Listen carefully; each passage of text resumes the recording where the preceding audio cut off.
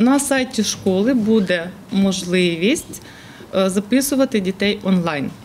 Е, Для того, щоб у зв'язку з новими умовами, знову ж таки, е, хто може потрапити до, е, на навчання до нашої школи, до нашого освітнього закладу, на сайті школи буде табличка, і також є територія обслуговування Житомирської загальноосвітньої школи номер 17, де батьки зможуть подивитися, чи можуть вони подавати документи саме до цього навчального закладу. На сайті нашої школи буде розміщена таблиця, де батьки при реєстрації матимуть вказати такі дані. Прізвище, тобто вказується тільки прізвище, бо ім'я по батькові це захист персональних даних не вказуємо.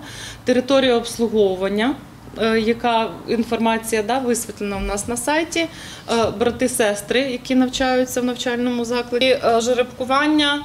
Якщо вже буде е, більше набір кількість дітей, ніж планується набрати, і тобто буде проводитися жеребкування. Нинішні технології дозволяють ввести електронну реєстрацію до прийому дітей до першого класу. У цьому ось навчальному році, який йде, у нас набрався один клас. Це 28 учнів було з території обслуговування. В нашому навчальному закладі є 18 претендентів до першого класу, чиї брати і сестри вчаться у нашому закладі. Думаю, що ми наберемо один клас з території обслуговування і один клас е, е, брати-сестри. І якщо будуть вільні місця, буде жеребкування. На сьогоднішній день перших класів в мережі буде 106 33 за- закладів загальної середньої освіти, і це становить десь 3182 учні. Департамент освіти рекомендував керівникам та педагогічним працівникам закладів загальної середньої освіти провести е,